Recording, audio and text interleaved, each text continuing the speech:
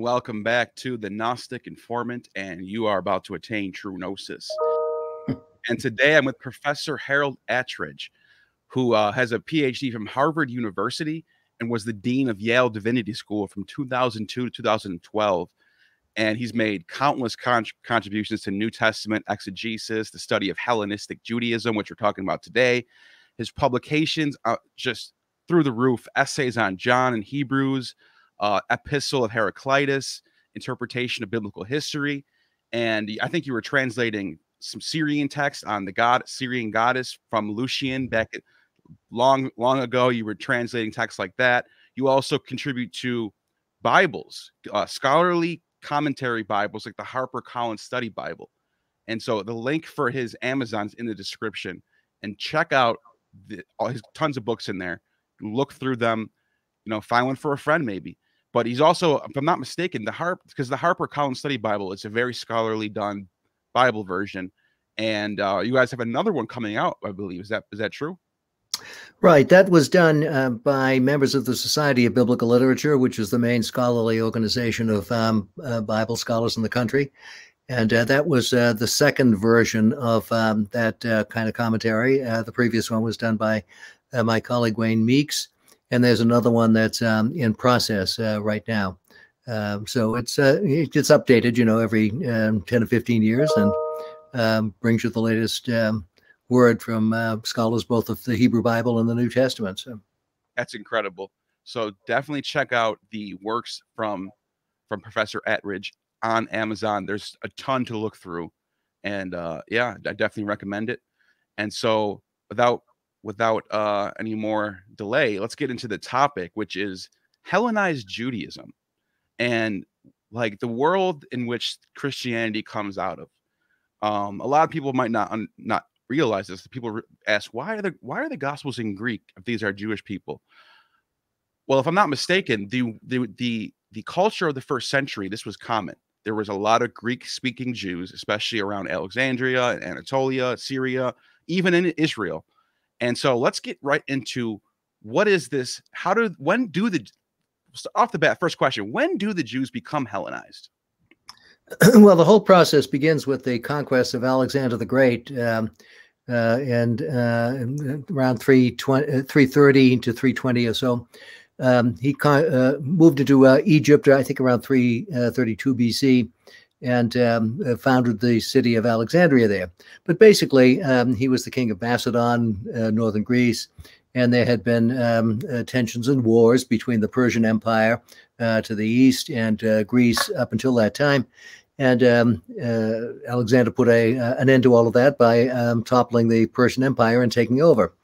Uh, after he died, he was uh, succeeded by uh, several of his generals. And uh, two of the most prominent ones um, were a fellow named Ptolemy, who became, in effect, the pharaoh, if you will, of Egypt, the king of Egypt, um, and ruled from Alexandria and another one was uh, Antiochus, um, who uh, the, the Seleucid king of Syria. And uh, people who are familiar with the uh, the books of the Maccabees and the uh, in the uh, apocrypha, apocrypha of the Hebrew Bible know the story of um, one of his successors who tried to destroy the temple in Jerusalem or defile it in some significant way, leading to the the Maccabean revolt that gave us Hanukkah, which we're going to be celebrating very soon. So, in any case, um, the um, the the political power in the Eastern Mediterranean and in the, the Near East uh, became headed by Greeks uh, after the end of the fourth century, and that continued down until um, uh, it was taken over by Rome. But Greece Greek remained the the kind of lingua franca, and the culture that went with it uh, was pervasive in uh, all of this uh, neck of the woods. So Alexandria is a, a, key point. And as I say, that was founded by Alexander the Great himself and named after him.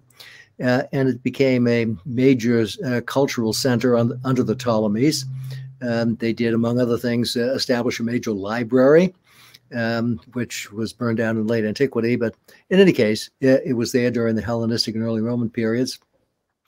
Uh, there's a new one there, by the way, in Alexandria now that uh, was established by the um, uh, the Egyptian government uh, some oh, 10, 15 years ago maybe just a little longer than that. Uh, in any case, it it does does homage to the old library of Alexandria that the Ptolemies began, and uh, among other things, they collected um, literature from uh, local populations over which they ruled. And the story goes, a story told in something called the Epistle of Aristeas, that they wanted a Greek translation of the Hebrew Bible, and that's what led to the um, the translation of, of the Torah and the prophets and the writings. In any case, there was a Jewish um, uh, component to the population of Alexandria from fairly early on. Um, we don't know exactly when they first started uh, there, but they're there certainly uh, by the um, by the second century in large numbers. Um, and after the Maccabean revolt, uh, the Jewish population in uh, uh, the Ptolemaic realm increased when um, the priests who were driven out of the temple in Jerusalem by the Hasmoneans um, started a temple of their own in in Egypt, and they served as mercenaries working for the the Ptolemies. Uh, but the, they were somewhat distinct from the uh, the settlement in in Alexandria, which uh, absorbed a lot of the the culture of, of the Greeks, which was the dominant culture of, of the city. And so um, we have fragments of uh, what that culture looked like among the Jewish population that have been preserved for us in various sources, uh, patristic sources, particularly Eusebius, the church historian of the fourth century, did a compilation of materials that quotes from a lot of texts that were written during the uh, early Hellenistic period. Uh, we can date them with uh, some certainty uh, to be probably second century because they were collected and cited by uh, a fellow named Alexander Polyhistor, uh, Alexander the very learned one, uh, who um, did a kind of handbook of um, what um, uh, the Jews and their culture um, were like for the Romans once they took over the Eastern Mediterranean after the uh, campaigns of um, uh, Pompey the Great in 63 BC. So around 60 BC, this guy uh, Alexander Polyhistor pulled together this this sort of reader's guide to um, Jewish Greek literature, and um, it, then that served as a source for the later um, Christians who were commenting on these uh, Jewish authors. And we can see that they absorbed Greek culture in a major way. Uh, they wrote um, poems in dactylic hexameter. There's a guy named Philo, not Philo of Alexandria, the philosopher, but Philo, uh, the epic poet who wrote a Homeric like poem celebrating um, uh, the Jewish temple and Jerusalem. Um, uh, there were some other epic poems too, or people who were using epic meters to do poetry. Uh, and um, uh, these later developed into something called the Sibylline literature, uh, which is uh, a set of texts in dactylic hexameter in Greek. that is the language and poetry forms of, of Homeric Greek um, that are attributed to the, the ancient Sibyls who uh, do prophetic work for uh, the Jewish people. It was also a dramatist uh, who wrote, uh, a fellow named Ezekiel, who wrote a drama about Moses uh, that has some really interesting passages in it that seem to uh, suggest a kind of mystical experience that Moses might have had on Mount Sinai. Um, there are apologists. There's a guy named um, Aristobulus who was very much uh, concerned to uh, tell his um, his uh, Greek speaking uh, and culturally sophisticated folk in Alexandria uh, that the Jews were really sane and sober people, and um, whatever kind of um, anthropomorphisms might be in their stories are all symbolic of some deeper philosophical truth. Um, so you have a quite a variety of, and you have historical texts too. There's a fellow named Eupolemus uh, who uh, writes about um, uh, Moses and Art writes about Davidic monarchy, and a fellow named Artapanus who writes about Joseph and Moses and the like. So you have a lot of a lot of people doing historical work, poetic work, um, adopting Greek cultural forms, and uh, telling the story of uh, of the Jewish people in a way that uh, will make sense to their sophisticated um, contemporary uh, friends and, and uh, neighbors in in uh, Alexandria. So that's uh, sort of an introduction to the, the, process of Hellenization. It's going on from the, the third century BC onward. Uh, and we could talk about uh, its culmination in Philo of Alexandria a little later, but that's that's the basic picture. So it's so it's oh, the guy, oh, the guy. What the heck? Echo, echo, echo. Uh, whoa, that's real bad. Hold on one second. Let me see if I can fix that. I think it's going away. No, it's not. Can you? Whatever. I just, have to, can you hear that echo? I can't. No. Okay, it sounds really. Oh man. Okay. Um. So basically, it's safe to say that Alexander the Great. He comes through east. That's gone now. Good. Okay. Good. Mm-hmm. He comes to the east, and uh, he Hellenizes that region. Well, not he, but you know, the result of what he did, the, the region changes the political power that uh, that's governing the region. Yeah. Yeah, and then you mentioned again the Romans come through around Pompey the Great comes and sacks Asia and that region in the 60s BCE. So right. you sort of have like two waves of Roman and Greek culture coming in and sort of uh, becoming the standardized uh, culture. And you mentioned yeah, the, the Greek the the the, the Greek um, conquest had more of an impact in terms of the language that was used and everything else. Uh, the Romans, at least when they first came, uh, used Latin, of course, for administrative purposes, but they had long since um, been involved with uh, the Greek world, and um, uh, they were quite happy to um, uh, to use Greek for other purposes. So now, Orphism and Platonism, I, get get thrown around a lot, especially you you mentioned like Ezekiel the tragedian and Philo and all these texts that are considered pseudepigrapha. Well, I, am the um the the James Charles Charlesworth text of the pseudepigrapha has a lot of like Orphic fragments in there, Platonist stuff.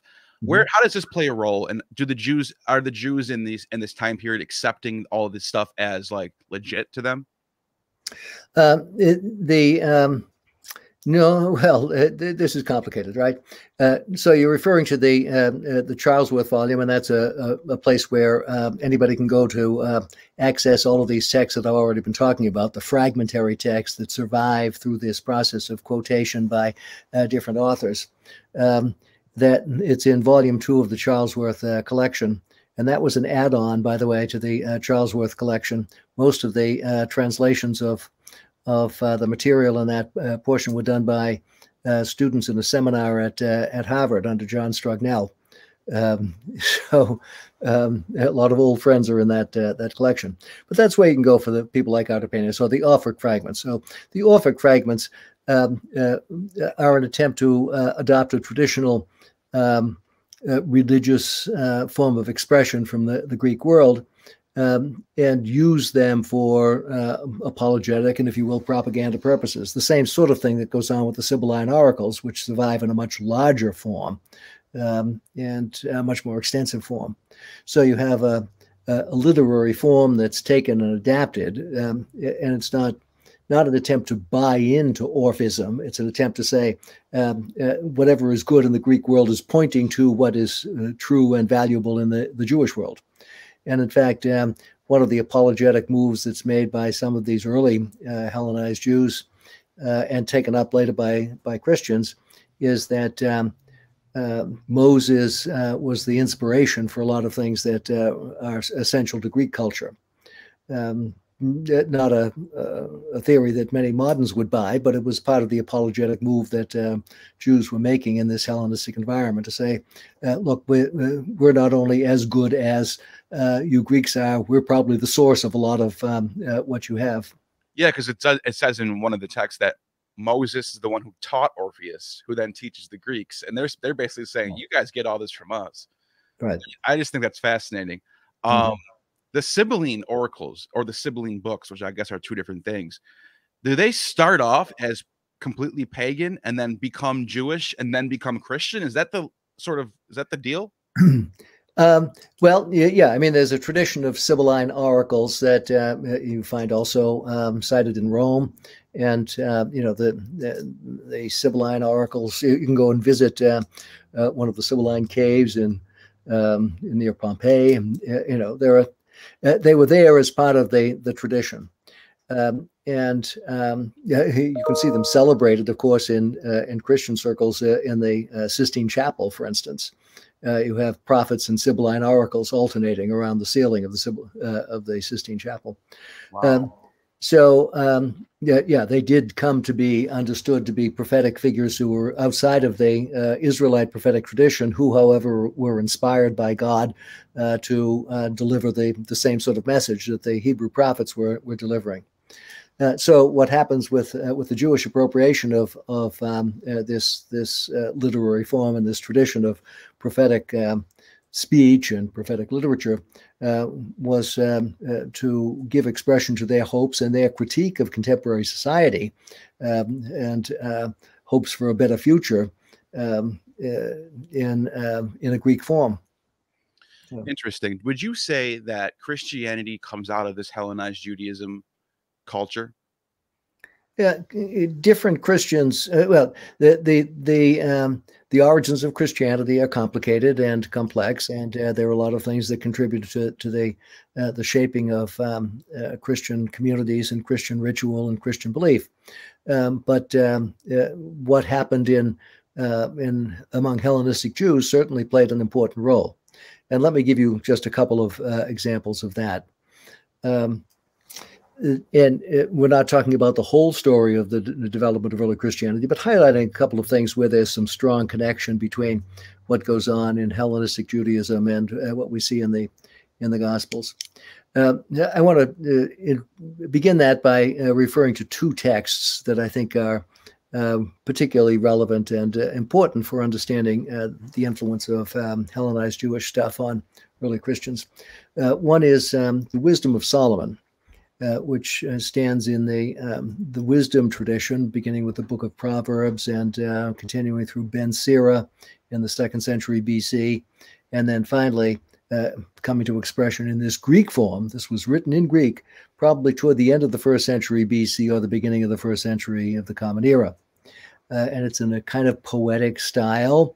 Um, but a kind of Hebrew poetic style, uh, it's not in dactylic hexameter or any of the meters that are associated with um, with, with, classical poetry. Um, and it has uh, in it some conventional wisdom. It um, uh, also has a kind of theory about how wisdom develops, and it uh, it talks about wisdom as a uh, a fine spirit that pervades all things and enters in into the souls of um, human beings in every generation and makes them friends of God and prophets. So um, this understanding of wisdom as a spirit or pneuma uh, sounds an awful lot like what um, uh, the Greek philosophical tradition of the uh, the Stoa uh, talked about in terms of the divine force that holds all things together. Wow. Uh, uh, when I um, used to introduce this to, to students in class, I used to tell them, think about um, um, uh, about Star Wars and the Force be with you, and you understand a little bit about what Stoicism was was trying to convey. That is, that there is some sort of underlying um, energy or force that uh, is divine and that uh, pervades all things and holds all things together. Uh, precisely the kind of language you get in the Wisdom of Solomon. Okay, so that's one little bit, and uh, we're going to come back to why that's important in a minute. The other is um, Philo of Alexandria, whom I've mentioned before, and you raised the issue of Platonism, and um, this becomes very important uh, with Philo. Uh, Philo uh, was uh, an upper class um, uh, Jewish guy from um, Alexandria lived from probably around 20 BC. We don't know exactly when he was born, uh, till sometime after 40 uh, CE. Uh, there's one important event in his life that we can date very precisely because there was a, um, a pogrom or set of riots in uh, Alexandria uh, in uh, 37, 38 um, um, uh, of the of the Common Era. And after that, uh, there were embassies that went to Rome representing the the Jewish population of Alexandria and the Greek population of Alexandria, and they presented their case to um, the emperor who was uh, Gaius Caligula at the time, uh, who didn't think much of the, the Jewish um, uh, case and sort of dismissed it. Uh, but Philo was the uh, head of the um, uh, the Jewish embassy that went to to Gaius, and he wrote a treatise about it called the Legatio ad Gaium, the embassy to Gaius um, and he tells his uh, the story of the the problems in Alexandria and the uh, the response, uh, his own response and the response of the Jewish people to that. So we can, and he says he was an old man when he went on this um, this expedition. So that gives us some sense of his chronology. Um, he came from a very um, well-to-do family. Um, uh, he probably was a Roman citizen, actually. Um, uh, his nephew Tiberius Julius Alexander had had a Uh, note the names Tiberius, uh, as in the emperor, and Alexander, uh, and Julius. Wow. So he's, uh, you know, pressing all the right buttons to say, uh, "Look, I'm one of your upper crusty types." He, he was he was standing next to Titus Titus Caesar when they knocked down the temple. He was standing right next. That, that's right. That's right. He was the aide de camp to, to Titus. He served as governor of the province of Judea and. Um, uh, the head honcho in uh, Alexandria for a while, and he ended up his career as head of the Praetorian Guard in Rome. So he had a distinguished career in the um, the Roman military, and yes, he was there as um, uh, at the side of uh, Titus at the destruction of Jerusalem in seventy. Um, and um, uh, the brother of Philo was the alabarch, um, main tax collector, and the family seemed to have served as um, as stewards of the um, uh, the uh, possessions of the Julio Claudian family, uh, the family of Augustus, and uh, his immediate successors in in Rome, uh, the uh, estates that they had in in Egypt. So they were well-to-do, well-placed, well-connected with with Romans. Philo obviously had a, a very um, strong traditional Greek education. He wrote a very high level of Greek um, with elaborate vocabulary and uh, elaborate syntax. Very different from the kind of Greek you find in, in the New Testament or in the, the Hebrew Bible, for that matter. Right. Uh, so he was a very learned and very uh, sophisticated guy. And uh, he wrote some philosophical uh, treatises. Um, there's a debate about whether these are early in his career or late in his career, but uh, they, they sound very much like philosophical texts. and he, but his main contributions uh, were an interpretation of Scripture. And some of his interpretations are a fairly straightforward uh, retelling of the story of the Pentateuch, and these are called the exposition of the the the, um, the Torah. And uh, others are uh, more reflective and allegorical. Um, and we there's the allegory of the laws, for instance. Uh, and he wrote a treatise on the creation of the world, which is uh, largely a, an exposition of um, Genesis with uh, some allegorical features in it. Um, so, one of the things that he was doing was uh, uh, continuing the apologetic traditions that you have in uh, Hellenized Judaism, saying that anything that looks mythological or naive in our traditions has a deeper meaning. And so, don't get hung up on the um, the anthropomorphisms in the tradition. Um, think about what the deeper meaning is and where where is that deeper meaning? Philo found that deeper meaning in um, in in plato. So uh, he thought that uh, yes the the um, account of creation could be squared with um, plato's timaeus uh, which is uh, a, a, kind of mythological account of the creation of the world that involves a creator god. Um, but the creator god in plato uh, is subordinate to the realm of ideas uh, or the realm of forms, which are somehow eternal and uh, beyond him. Um, and that would not do for Philo, who remains a good Jew and an observant Jew.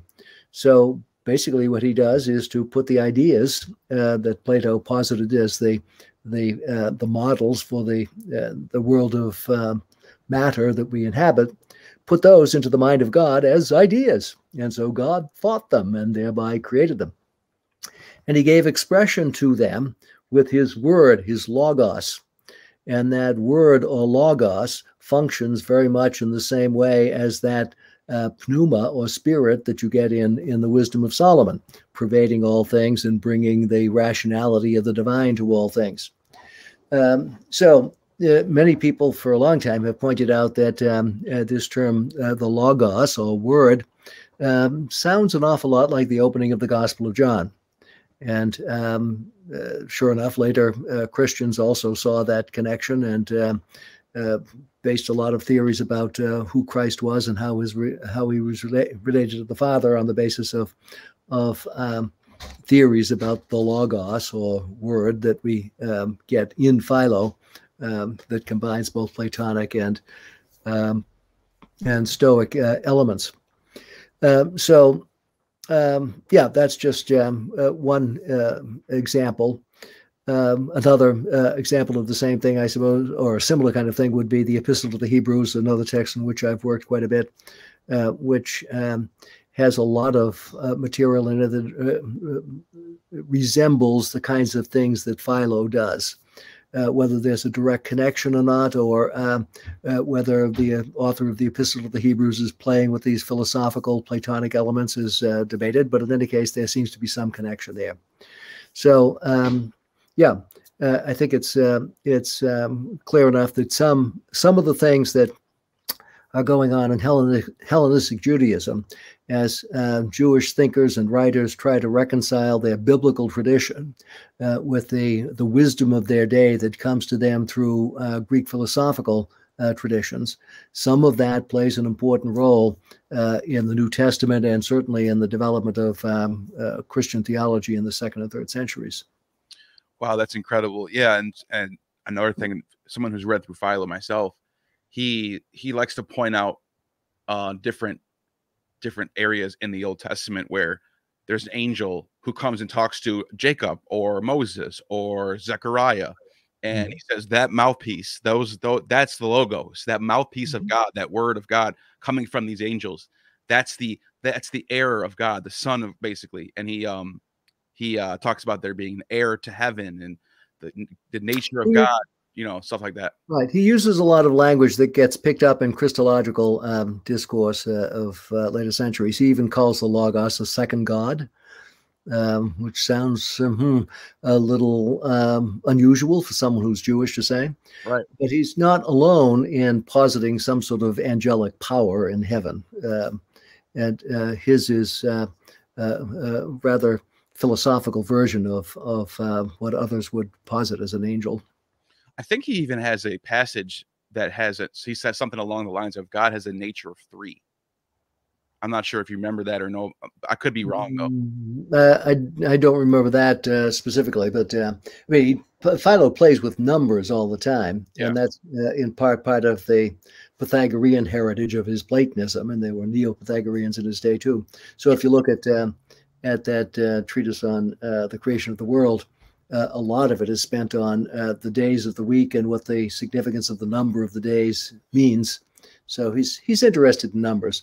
Uh, he's he's. Uh, it, I think what you might be referring to in terms of the the three.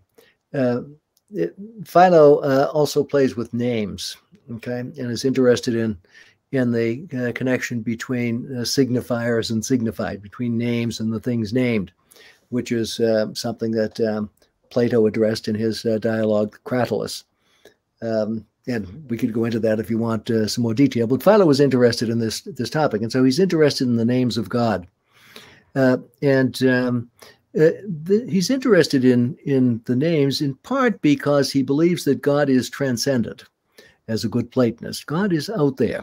Uh, you have you have to believe in God. God is the foundation on which everything is built, but you can't know Him directly. And uh, he takes the anti-imagistic um, traditions of the, the Hebrew Bible as a, a, pointer in that direction. You can't know who God is. You can't see God. Um, God remains uh, mysterious, but God reveals God's self, says Philo. And here he's, he's simply interpreting text from the uh, the Bible, uh, the um, uh, the burning bush, or the appearance of the uh, the three characters uh, to uh, Abraham at uh, the Oaks of Mamre in Genesis 18. That's probably where you're getting a three. So, who are these three? Well, um, think about the names of God. You have two names that run through the, the Hebrew Bible, uh, Yod He Vav He, the Tetragrammaton, and Elohim, the generic word for gods, which can be applied to the singular God. Um, so you have those two translated into Greek as um, uh, kurios and theos kurios Lord and theos God. Um, and so uh, what Philo says is that uh, what Abraham saw uh, was the word of God and uh, the two uh, instantiations of his power, his potencies, uh, that can be named Lord and God. Mm. So the logos, or self-expression of God that comes from God's very inner being, uh, comprises um, those realities that are named in the Bible as Lord and God. And what Abraham saw was that threefold reality. So it's not a trinity as in um, uh, later Christian understandings of uh, Trinitarian theology, but it's a, a, a threefold uh, self expression of God uh, in the world.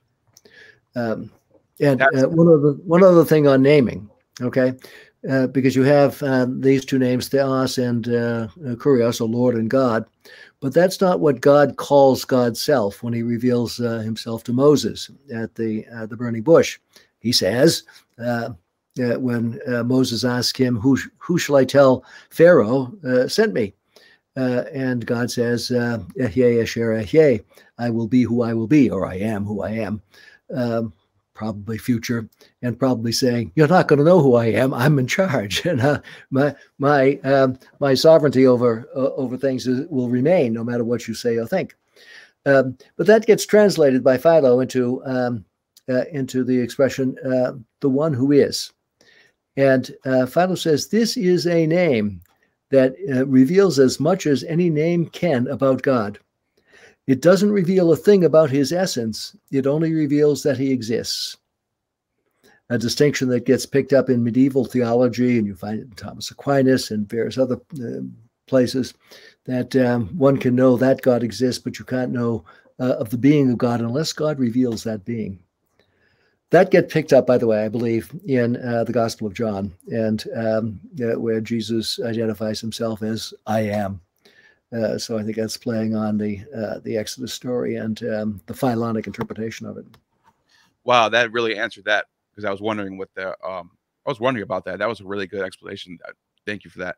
Now I want to get into Paul because by the time we get to Paul, there already seems to be a network because he's writing to churches that are already established. He's not making new churches. He's writing to people who are already there. Uh, I've recently learned about this Hypsistarians, these God-fearers, these monotheistic Greeks.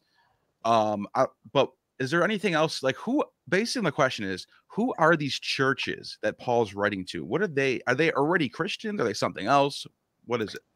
Uh, well, some of the this is shifting gears considerably, but some of the yeah. people to whom Paul writes are uh, congregations that he has founded um, the Galatians uh, are people that uh, he probably converted in his first missionary journey.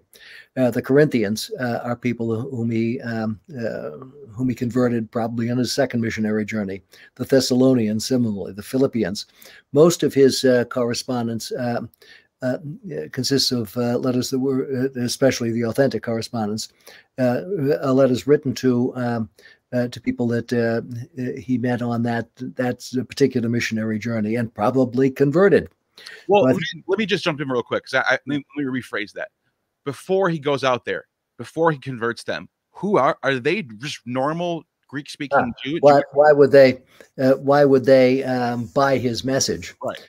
Um, uh, okay, and uh, let, us also note that there are uh, some congregations that he did not found that he wrote to, too, right. Uh, and that would be um, uh, particularly the case with the um, the Epistle to the Romans, uh, which he had never visited, and he that's why he sends the Epistle to the Romans to introduce himself in a way.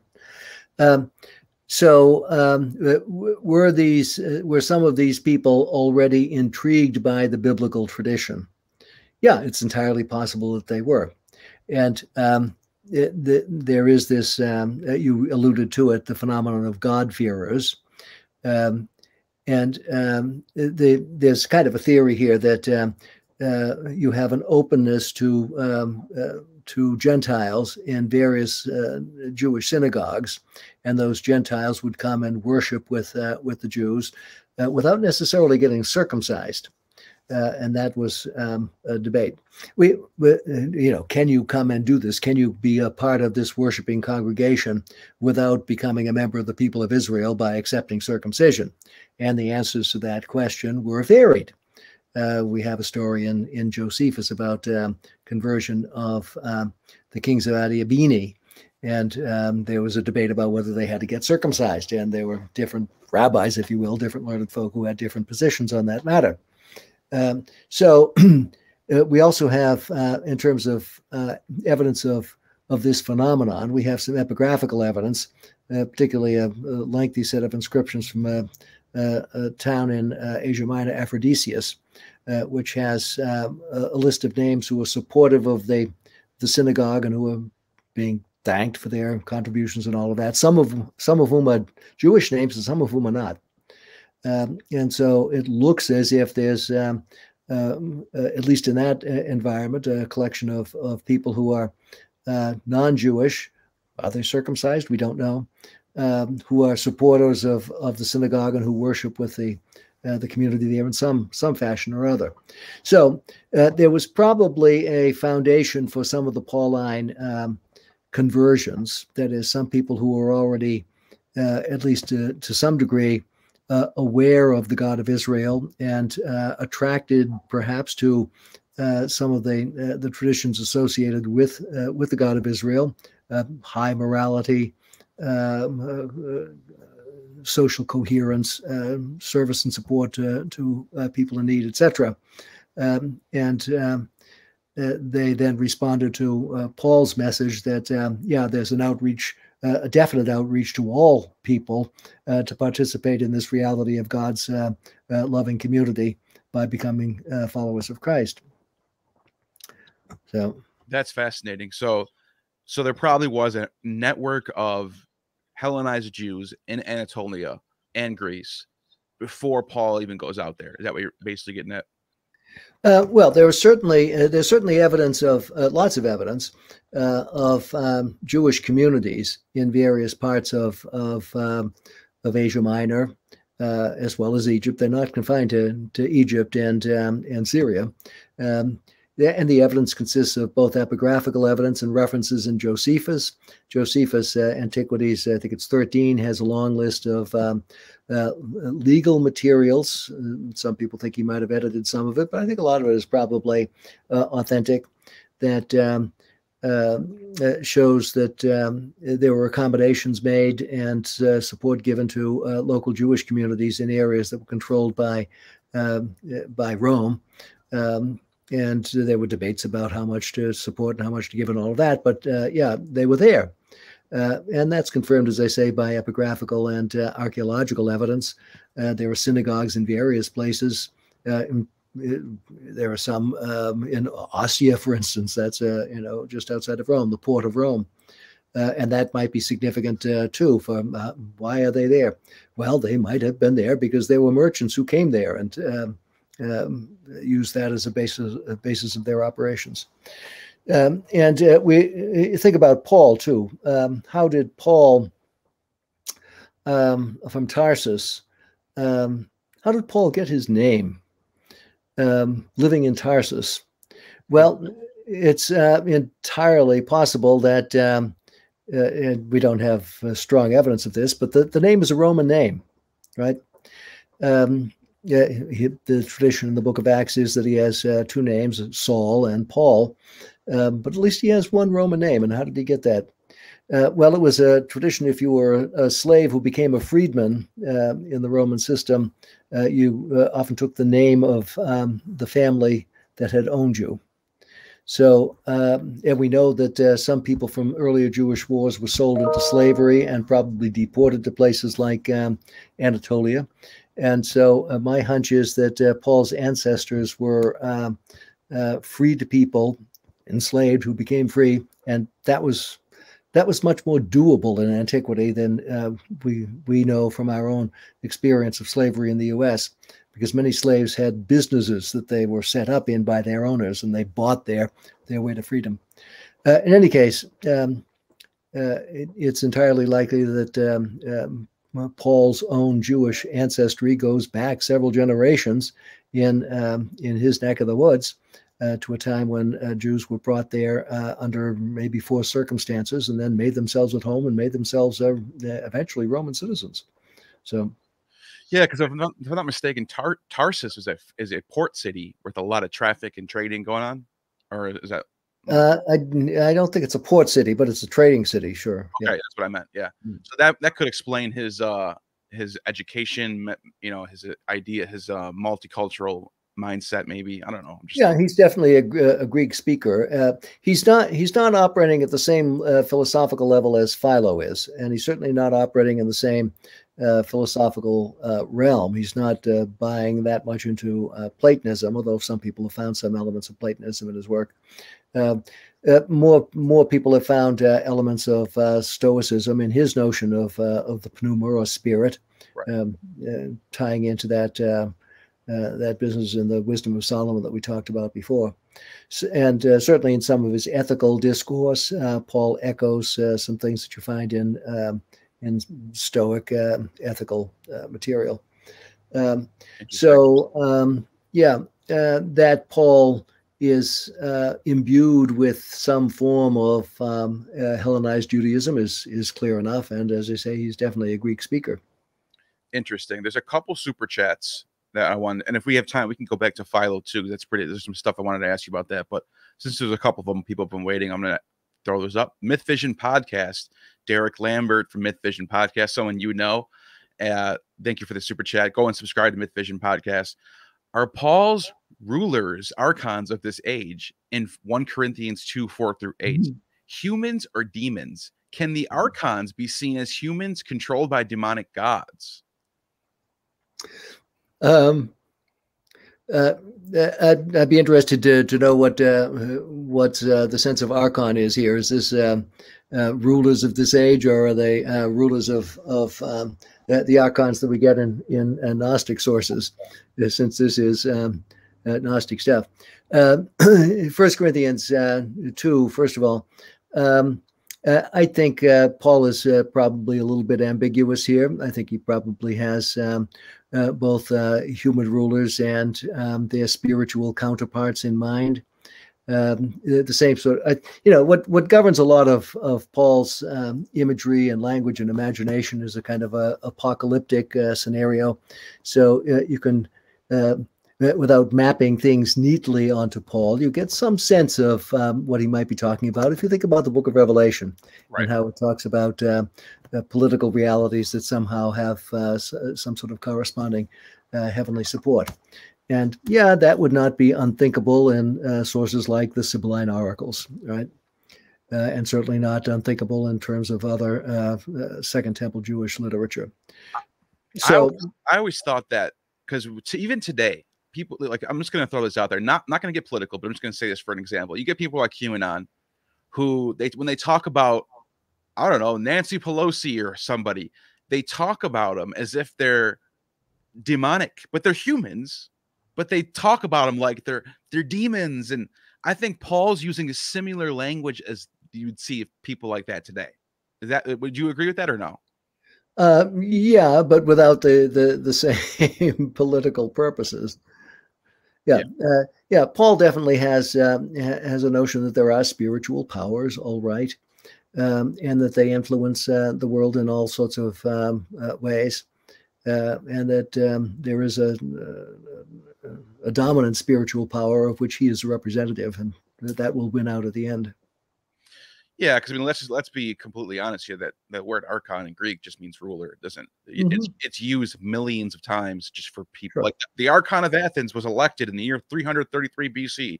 They don't mean that he's a demon. It just means he's a no. ruler of Athens. You know. Mm-hmm. So you can't you can't just say, oh, there's a Gnostic text. Look, it's mm-hmm. these are talking about demons. Therefore, anytime this word's used, it must be about demons. But at the, at the same time, I do see why people are throwing this on the Paul because Paul does have this weird language and he is speaking about spiritual matters. So, you know.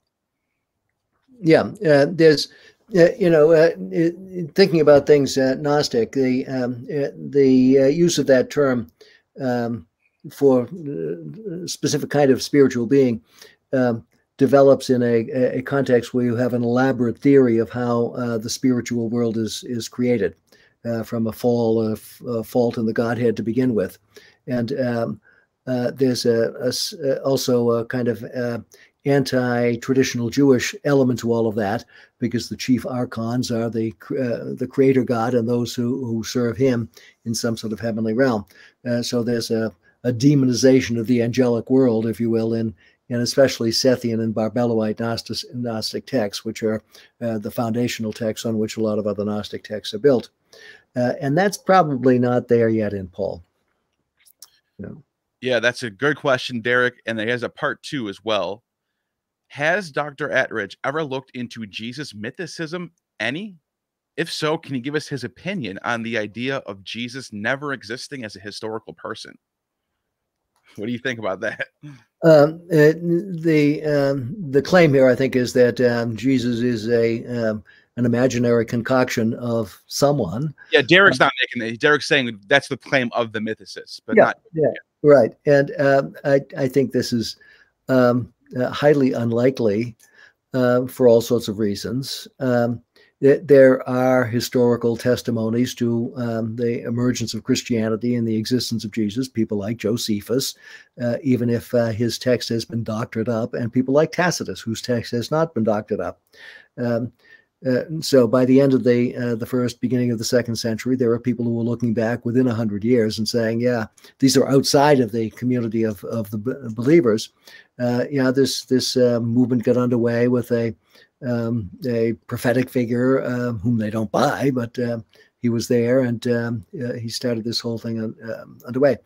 Uh, also, the the variety of material that you have, it would be different if you had a single simple myth that told a story of um, of an individual doing miraculous things and going off and dying or going to heaven or whatever. But you have a variety of sources uh, that tell different versions of uh, of the story about Jesus, sharing some stuff, and the stuff that they share is not so much mythical; it's it's kind of concrete. It's uh, it's earthy. It's gripping.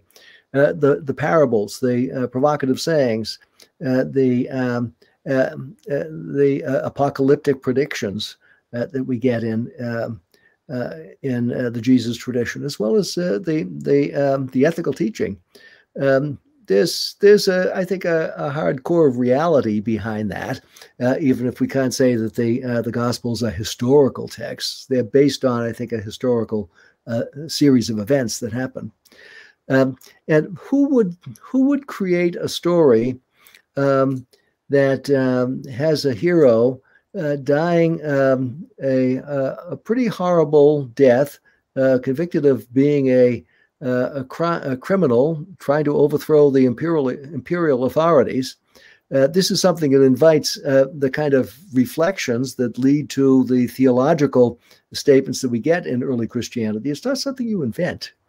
So, yeah, I would agree. I mean, they'll, their response to that would be, I agree with you, but their response would be, well, those all those sources like Tacitus are so late, they don't know. They're just they're just hearsay, and then they'll say, oh, the reason why he died is because he's following the suffering Messiah motif. So, I mean, ha- there's an answer for everything you throw at them. Yeah, the, the suffering Messiah motif uh, uh, appears briefly in um, in Isaiah and uh, is used for uh, trying to understand uh, why it is that this particular Messiah suffered. There aren't many people around in the first century who were saying, "Oh, let's wait for the suffering Messiah." Right, exactly.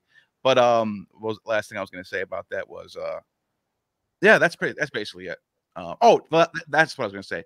I think you made a good point by by talking about these outside sources because even if eh, some of these hostile witnesses, like Celsus or the the Jews, for example, if he did, if this guy was just completely made up, you would think there would be some people contesting his existence, being like, "No, nobody ever heard of this guy. What are you talking about?" But that you don't get that. You get, "Yeah, I don't believe in his that he he's Messiah."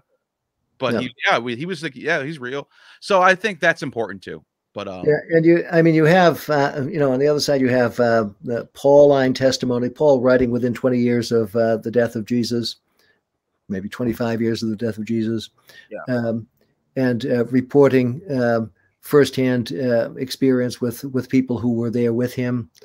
Uh, is this all invented too? I don't think so. That's yeah. And, and then you have uh, the Romans after the uh, conquest of um, of the uh, rebels in in Judea, um, picking up. Uh, there were reports about this, and Josephus reports too. I think this that um, uh, they were tracking down um, uh, followers of Jesus. Hmm. Why? Hmm. They, they according to the reports, they they didn't do anything to any of them. they found them to be non non threatening, but um, um, they took it seriously that there was uh, someone that might have been um, instigating uh, revolutionary activity. Interesting. Thank you for that, Derek. I appreciate that, like always. And the next question is from Imposter Sir Spence Who is Aristobulus of Alexandria, and did he teach Philo? Uh, Aristobulus is one of these uh, authors uh, who is uh, cited by the church fathers like Eusebius whose work would have been excerpted by Alexander Polyhistor in 60 BC. And uh, he was something of a, early philosophical apologist. Um, uh, he wrote probably sometime in the second century. I don't think he was a teacher of Philo. He's too far removed from Philo. He had to have written before 60, and Philo wasn't born until probably 20 BC. Uh, so um, I don't think there's any direct connection. Um, but he was there as uh, part of the this tradition of uh, Hellenization and of um, uh, apologetic literature, uh, trying to say that uh, Jews are are not opposed to rationality. their anthropomorphisms can be understood philosophically and the like. So Philo might have read him. Uh, but Philo had a much more uh, sophisticated and in-depth understanding of Greek philosophy than I think uh, Aristobulus did. Interesting. Thank you for that. Oh, and, and, do we have any? I'm pretty sure we. Yeah, we do.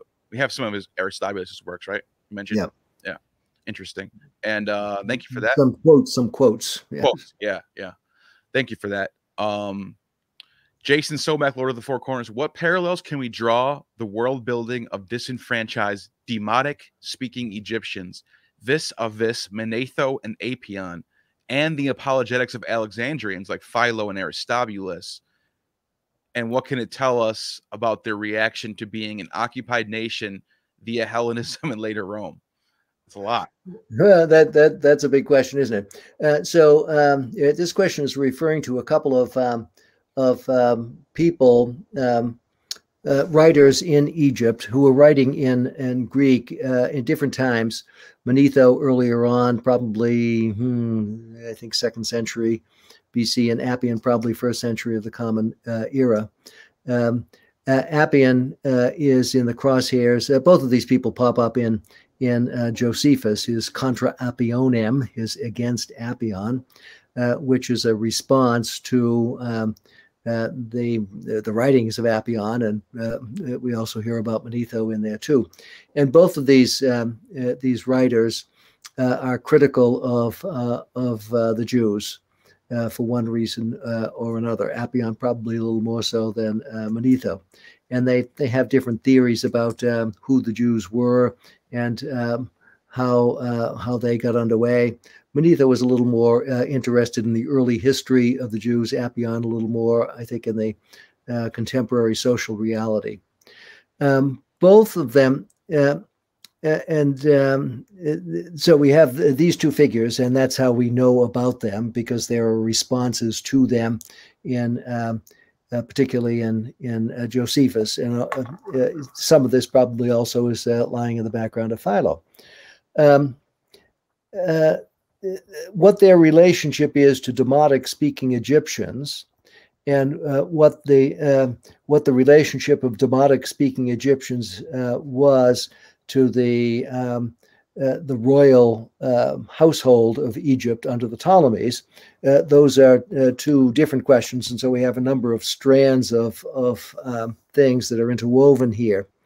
Um, Demotic speaking uh, Egyptians are uh, people who are non Greek, um, who um, uh, continuing the native language of, of Egypt and uh, writing it in, in a form that uh, is distinctive, distinctive both from the hieroglyphs of earlier ages and also from the Coptic of later ages.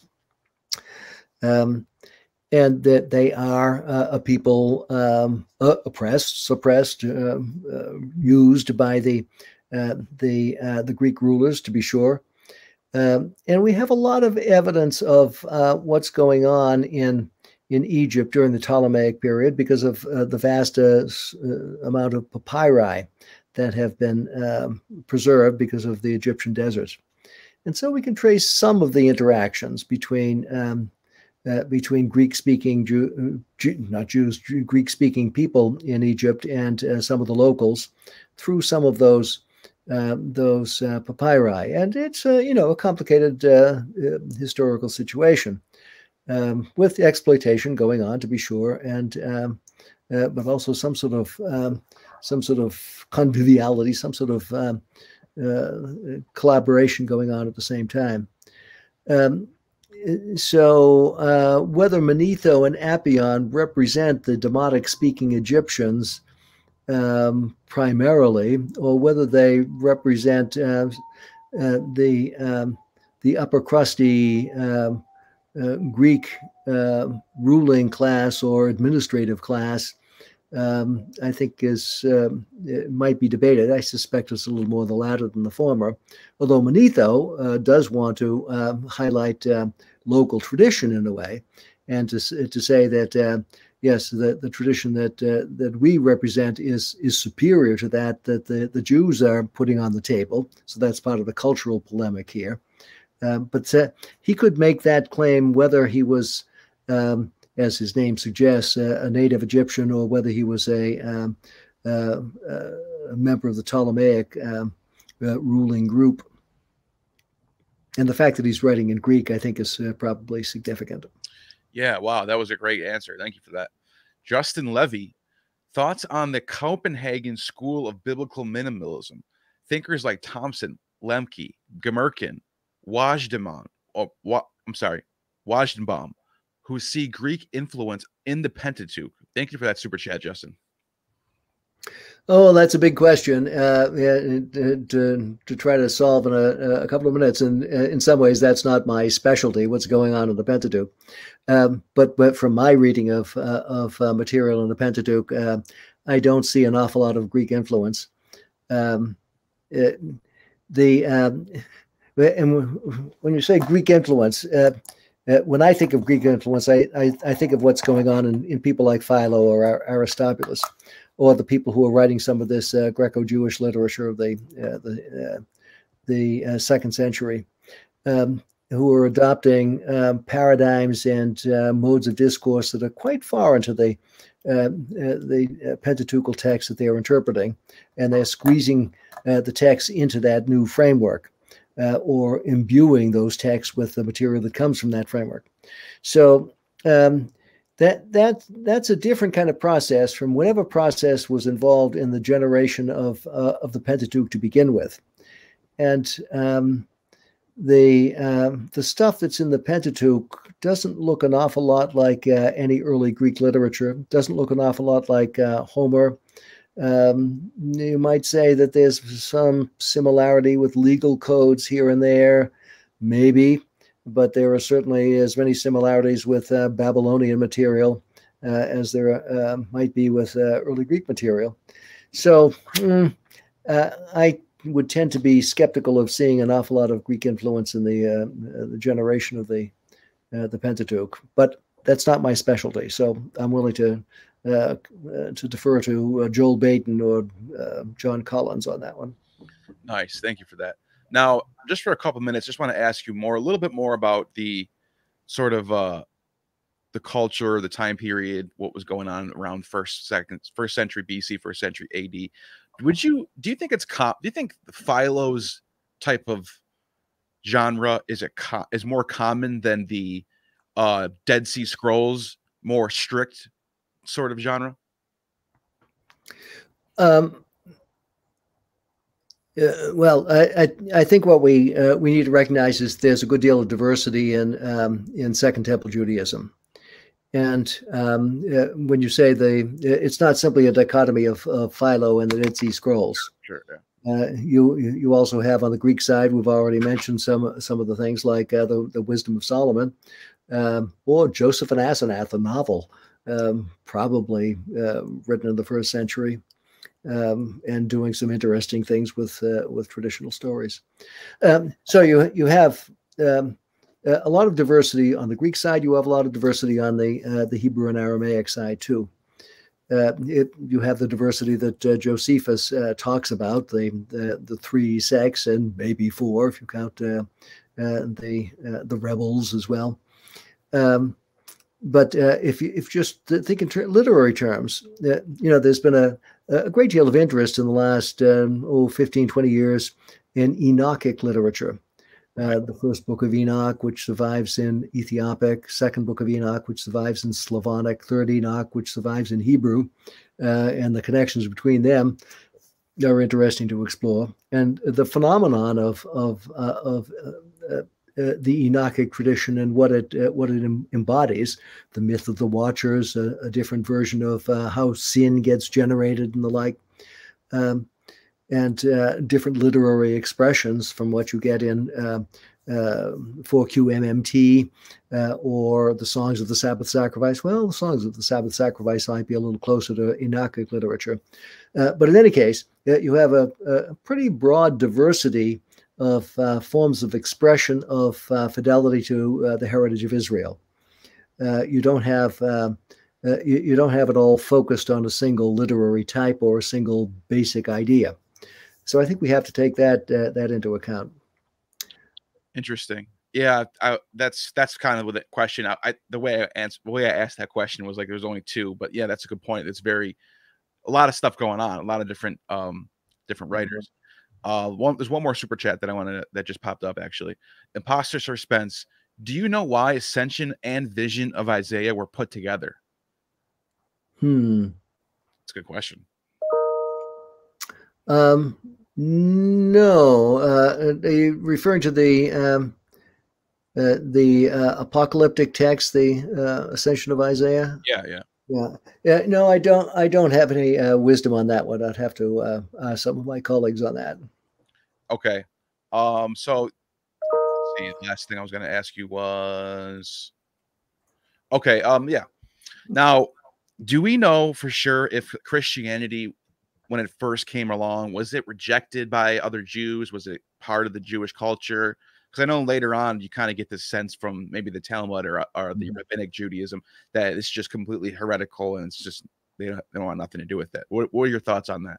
Well, that's a big topic. Uh, when the uh, the so-called parting of the ways took place, um, and uh, you know, for for a while there was a, a theory that um, uh, gained a certain amount of attention and a certain amount of support that um, there was a split between Jews and Christians already uh, at the end of the first century, um, uh, uh, triggered by the Council of Yavne or, or Jamnia uh, toward the end of the first century, uh, where um, Jewish rabbis inserted the new uh, element of the Amidah or the daily prayer, the 18 benedictions, and this new benediction was actually a curse on the Minim, who are Christians or could be construed to be Christians. And so uh, people who would uh, come to the minyan and uh, uh be invited to pray would find it a little difficult to uh, offer a curse uh, on the people that they were sharing dinner with. so um, that theory was was out there for some time, and a number of people have said, well, the, the evidence for it is a little weak uh, for a really hard split between these two uh, religious traditions so early and so so much. Why? Because we continue to see uh, a lot of interaction between Jews and Christians down to the fourth century, until uh, the time when um, uh, Christianity becomes established as uh, the the religion of the Roman Empire. John Chrysostom, who becomes um, Patriarch of Constantinople when he was Bishop of Antioch, uh, prior to uh, was previously Bishop of Antioch, uh, complains uh, on several occasions about um, uh, Christians who uh, are spending too much time at the local synagogue and they should be spending more time at church. Hmm. well, this suggests that even in the fourth century, there's a good deal of interaction in the major urban area like Antioch between Jews and Christians. So there were probably different um, different degrees of interaction and different degrees of tolerance and intolerance in different parts of the uh, the Christian world uh, during the first several centuries of the um, the Christian movement. Uh, and some people um, um, continue to try to remain faithful Jews while being uh, acknowledging Jesus in some sense or other. There were reports about these folk and some of the, the church fathers who consider them heretics by the time these uh, reports are written. Right. So um, it's um, it, there's clearly tension. Uh, Paul uh, tells us that he, uh, you know, was uh, lashed and uh, uh, harried by his opponents who didn't, didn't believe his version of of of his faith. Um, so that was already going on in the first century, all right. but there was also continued interaction. So.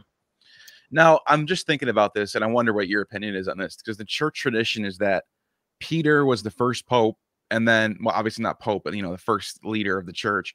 and then after him, he had established in Rome. Was it Clement? I think it's Clement, right? Was second one, or is there someone someone in between that? I think. Linus, Clement, Sixtus, Cornelius, Cyprian, and all the saints. Yes. yes, yes. Now, do you believe this is true? Do you think there's some truth to it? What do you think about this?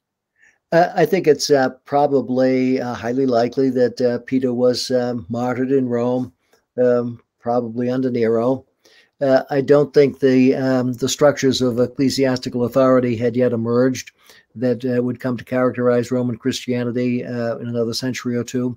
I think by the end of the first century, you, you at least have an incipient um, hierarchical clericalism uh, evidenced in um, uh, the first epistle of Clement, which maps um, bishops, presbyters, and deacons onto uh, high priests, priests, and Levites in the Old Testament. So there's a, a, structure of authority that's that's emerging. And by the second century, if the letters of uh, of Ignatius of Antioch are, as many people um, claim, to be dated early in the second century, you already have then the emergence of a monarchical episcopacy in some parts of the uh, the Christian world. Uh, but I don't think you have the establishment of a monarchical episcopacy within the uh, uh the first uh, generation or two in Rome. Uh, I think that emerges in the second century. Yeah, I see. I see what you mean by that. Now, Linus was the name I was thinking of. They, mm-hmm. they the, they, they say that he's you know he died around in the late 70s. Do we have any evidence of him being in Rome? Do we have any? Is there any an evidence, or is this just kind of just get passed down and we just kind of have uh, to? I, I, think the uh, the first uh, uh, bits of evidence we have of of uh, uh, the succession list that you have in Eusebius in the fourth century, and when exactly they were compiled, and um, how much uh, historical value was to be placed on on the earliest stages of them, I think is is um, questionable. Sure. Um, so uh, sometime by by by the middle of the second century, uh, you have people who are concerned about um, uh, the co- continuity and hierarchical leadership, and so at that point, I think you probably have succession lists being developed, and people saying, "Oh yes, I remember that there was a leader named Linus. Um, did he exercise monarchical leadership uh, in the Church of Rome and uh, after Peter? Probably not." but he's a name that was remembered, and so ah, we'll put him in as number two. Yeah, because you always wonder how do they know that this guy Linus died in the year seventy nine? Like, what what text are they drawing from? Is it oral? Yeah. There's no reason to doubt it because it's not like a supernatural claim. There's nothing crazy going on, but at the same time, it is so like like we're looking at where's the sources, you know? So you kind of can see right. why, you know. There's a, a, a handy little um, uh, paperback uh, called the, the the Dictionary of the Popes, done sometime oh 30 or 40 years ago by um, a prominent uh, scholar. I, I, forget his name right now, but in any case, it, it, it goes through all of the the details on that and tells you where the uh, the information about the individual came from, usually third, fourth century uh, materials or uh, Eusebius or whatever, and then um, uh, evaluates whether there's any kind of historical uh, foundation to it. And for the earlier ones, hmm, it's pretty questionable. Now I have one more question because I recently was was watching a documentary about Mount Vesuvius and Pompeii, and they're mm-hmm. talking about in the archaeology dig they found these relics that are in Latin and they have what looks like to be our our Father hymns. Like this, one of them says Pater Nostros, and some people are claiming this might be Christian. So this might be evidence of Christians living in Pompeii in the 70s in the first century. Do you mm-hmm. agree with this? What are your thoughts on that? I haven't seen the evidence. Uh, I think it's not impossible, but um, I'd like to see it. Yeah. Yeah, definitely. I'm I will I'm interested to know what your takeaway is from that because mm-hmm. it doesn't say anything about Jesus or Christ. It's just a father thing, which would be mm-hmm. like, what is this? So it's interesting. It's uh, something I'm looking into myself and uh, talking to experts about. And uh, mm-hmm. that's basically it for me. And uh, anything else you want to say? Oh yeah, before before we even close out, go and check out Harold Attridge on Amazon and uh, he's got tons of books, tons of tons of stuff, tons of publications, and they're all amazing. Definitely check it out. And uh, yeah, that's it. Anything else you want to say before we go? No, that's good. Been fun being with you as always. Yeah, I definitely appreciate your time, and you have just attained true gnosis.